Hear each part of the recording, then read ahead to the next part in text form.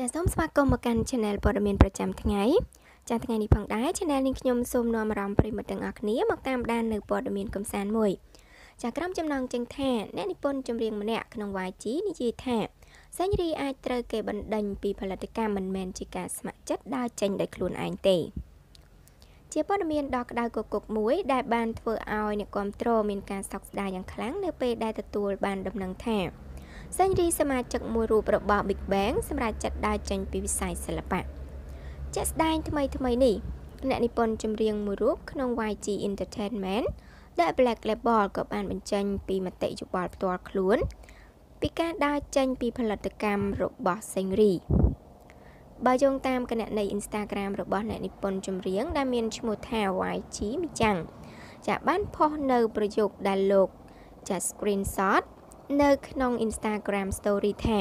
ព្យាយាមកុហកអ្នកគ្រប់គ្នាថាស្ម័គ្រចិត្តដើរចេញ ទាំងដែលការពិតត្រូវគេបណ្ដឹងចេញ ហើយលោកបានសរសេរបន្ថែមថា real ក្រោយពីឃើញការបកស្រាយរបស់ YG មីចាំងអ្នកលេងបណ្ដាញសង្គមបាននាំគ្នាបញ្ចេញមតិយោបល់ចំពោះរឿងនេះនៅក្នុង Instagram របស់សេងរីជាច្រើនប៉ុន្តែរយៈពេល2ម៉ោងក្រោយមក YG មីចាំងក៏ បានលុបផុសនេះចេញពី Instagram របស់លោក។